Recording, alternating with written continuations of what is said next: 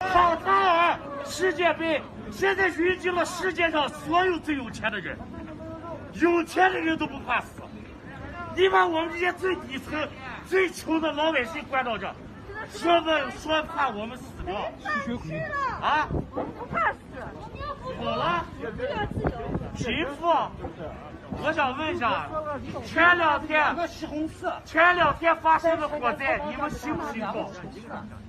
你们作为服务起老百姓的父母官，你们心不心痛？虽然那不是你的管辖范围，你听到这个消息，你心痛不痛？